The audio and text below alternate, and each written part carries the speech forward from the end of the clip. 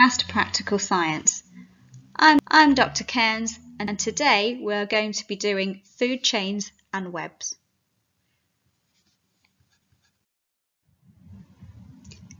This picture contains four different organisms. Can you spot all four organisms? I'll give you 10 seconds to do this.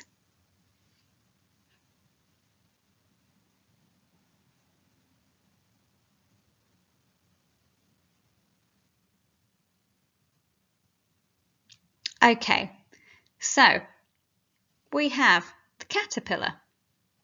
We also have the bird. We have the cat. And the last one that we have is the tree. You could also count grass, I suppose.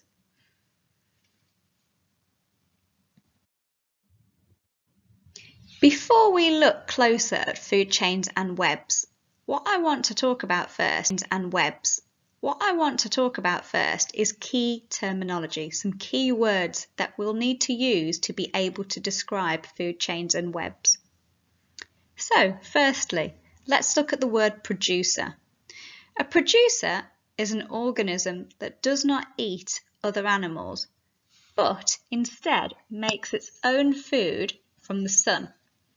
It's involved in a very important process called photosynthesis. We also have organisms that can be predators, and predators are animals which hunt and eat other animals. We can have prey organisms as well. These are animals that are hunted and eaten by these predators. And finally, we can also have consumers. Consumers cover a lot of different organisms and all they describe is an animal that eats or consumes other animals or plants.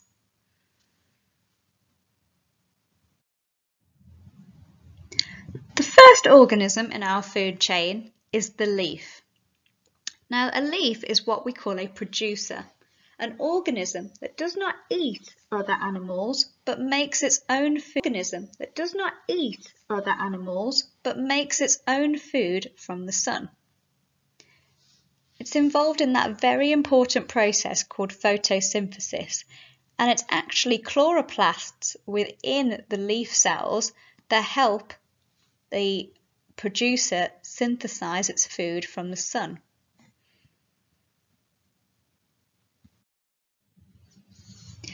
Next in the food chain, you see the caterpillar. Now the caterpillar falls into two categories. It is a consumer because it is an animal that eats or consumes other animals and plants, as it can eat the leaves on the trees.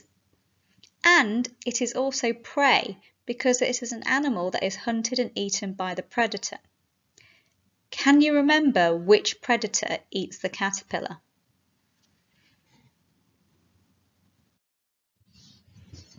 Yes, that's right, it's the bird.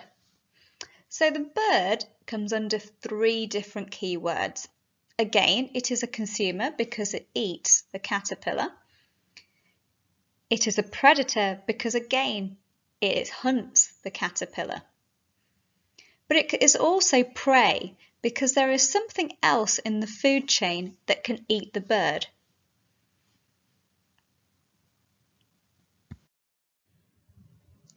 The last organism in the food chain is the cat. The cat is classed as a predator because it can hunt and eat the bird. For the same reason, it is also a consumer. So let's have a look and see how these animals fit into a food chain.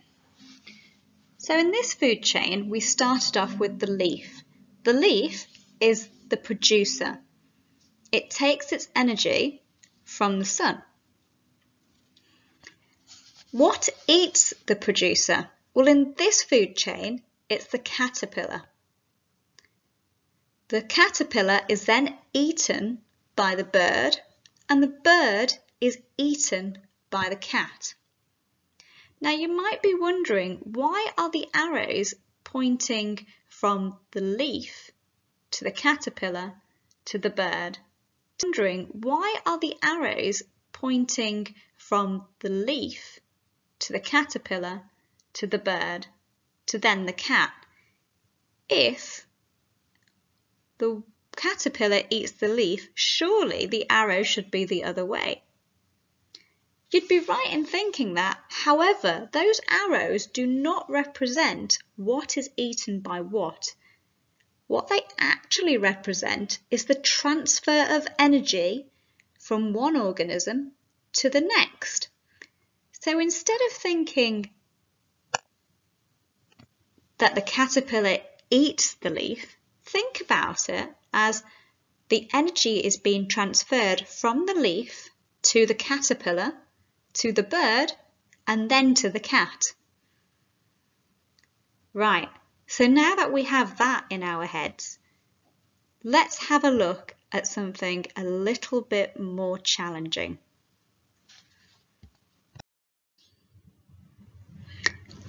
In this example, we have a food web.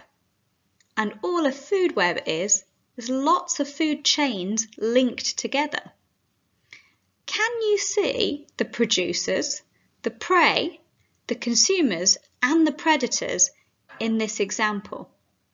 I'll give you 10 seconds to have a look.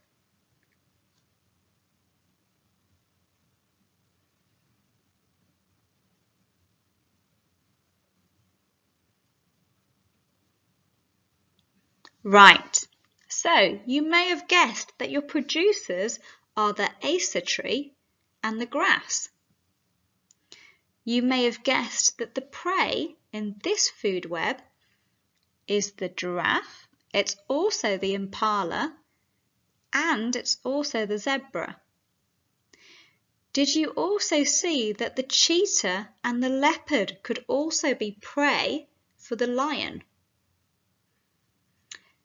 All of the animals in this food web are consumers because they eat other animals or plants.